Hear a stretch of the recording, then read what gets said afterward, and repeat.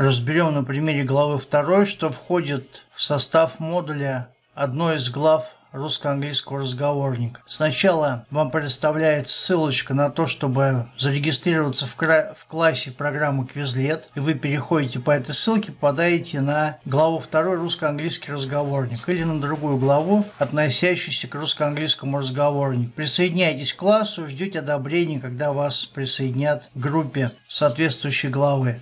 Дальше.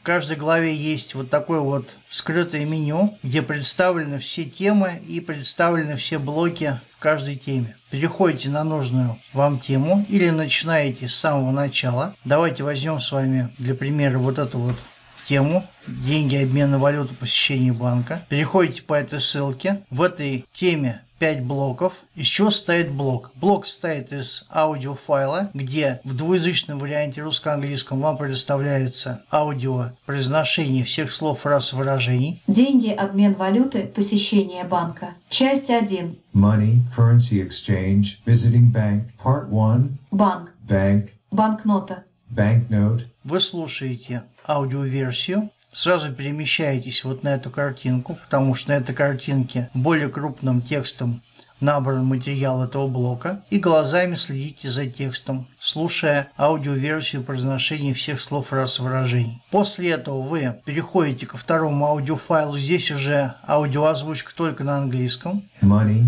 currency exchange, visiting bank, part 1, bank, banknote, account details, Опять же, при прослушивании аудиофайла только на английском вы возвращаетесь вот к этой картинке и смотрите крупным текстом на английские слова и запоминаете их произношение и можете слушайте каждый аудиофайл не менее трех раз, запоминаете произношение слов фраз выражений. После того, как вы закончили с прослушкой, переходите к закреплению своих навыков. Для этого отрабатывайте материал в Quizlet, переходите по нужной ссылке, попадаете в соответствующий тренажерный модуль в программе Quizlet. Вот эти модули. Блок 1, блок 2, блок 3, блок 4, блок 5 по теме деньги, обмены валюты, посещение банка. Сам тренажер выглядит следующим образом. Их там 7 или 6 штук, в зависимости от того, на каких устройствах вы работаете. На стационарном компьютере вам доступны flashcards, learn, write, spell, test, Match Gravity. В мобильной версии у вас не будет Gravity,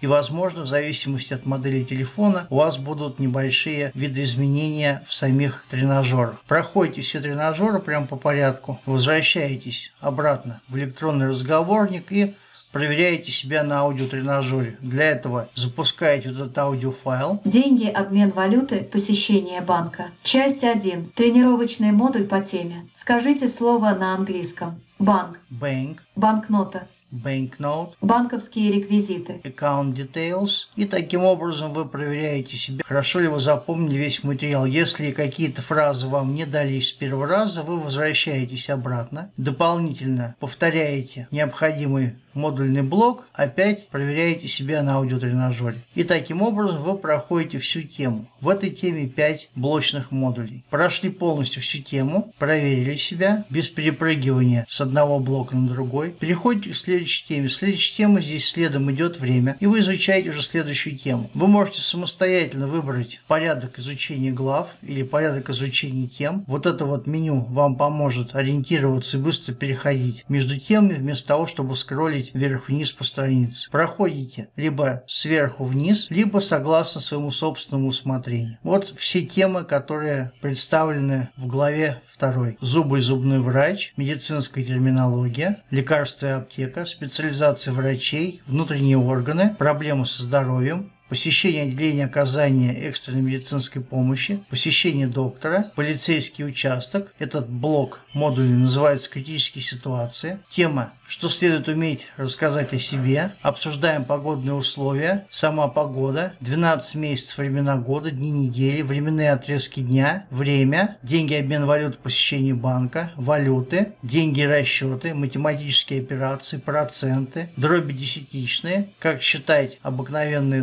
дроби, порядка вычислительные, большие сложные цифры, цифры десятки, сотни тысяч и простые цифры до 40. После того, как вы закончили с одной главой, вы можете переходить к изучению следующей главы.